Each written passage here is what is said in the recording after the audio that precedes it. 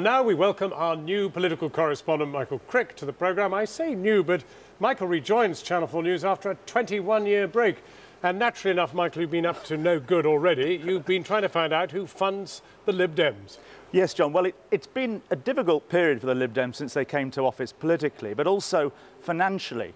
Uh, when they went into government, they lost what's known as the short money, which is the state funding that is given to opposition parties. That was worth nearly £2 million a year to the Liberal Democrats. But instead, they discover now that they're in power, they can rake rather more money out of businessmen. There's actually a dinner starting round about now in a Swish hotel here in Birmingham. 200 businessmen being charged £5,000 for a table of 10 people. The prices are up 40% on what the Lib Dems charged uh, when they were in opposition, a mere opposition, small opposition party. And today here at the conference has been known as what's known as Corporate Day, where quietly behind the scenes uh, businessmen pay £800 to come here and talk to senior Lib Dems and ministers. I've been trying to find out what's been going on. It's part of the conference the Lib Dems would no doubt prefer us to ignore. Corporate Day, billed as a programme of breakout policy sessions with senior Lib Dems.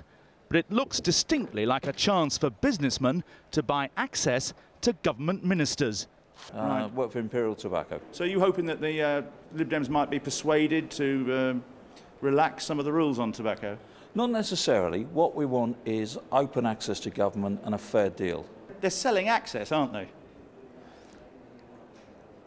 No, I don't think it's so much selling access. Um, I think. Well, you wouldn't be allowed into the room if you hadn't paid your £800. Well, um, I, I, think it's I think it's important that, uh, particularly on a business day, um, that business is allowed to. So rich people, rich businesses can get the access uh, on corporate day, and uh, the rest of the world has to uh, wait their turn and do it in the normal way. Can't anyone get access to their MP? They weren't the only tobacco firm to cough up. Where are you from? British American Tobacco. I've had access to um, quite a few uh, government ministers like Ed Davey and and also even met Greg Clark. So good to see the during the course of the day. Coalition. Yeah. Really? Coming out together, yeah. So it's worth the £800, is it? but we, not having paid £800, were rather less welcome. Sorry, the client doesn't want anyone to be interviewed on the foyers. They're coming up, okay. It was all about getting their message across, this somewhat shy official claimed. Why are you so, why are you so sensitive about it? Well, it's just a private you, event. yeah, but not, not particularly seem, sensitive. You, seem but, to, uh, seem, you, think, you, seem to, you seem to be giving the impression you prefer we weren't here. Well, yes. I mean, it's just, uh, just a quiet event. But it's a fundraising thing, isn't it? It's our opportunity to talk to business. Okay, and we need to be able to get our message across directly. And to raise some money for the party. It's, we've got to talk to people directly, otherwise we won't be able to, um, we won't be able to get our message across. But it's not just about getting your message across, is it? It's a fundraising thing. Only later we discovered he's the Lib Dems chief fundraiser. And here's Olly Grender, advisor to Nick Clegg. So you, you fund your party by um, selling access to members, and ministers. Well, a corporate day is a standard event at all party conferences. But if you're against it, I suggest you set up a campaign for public funding, which is what the Lib Dems believe. Michael Crick doing what Michael Crick does.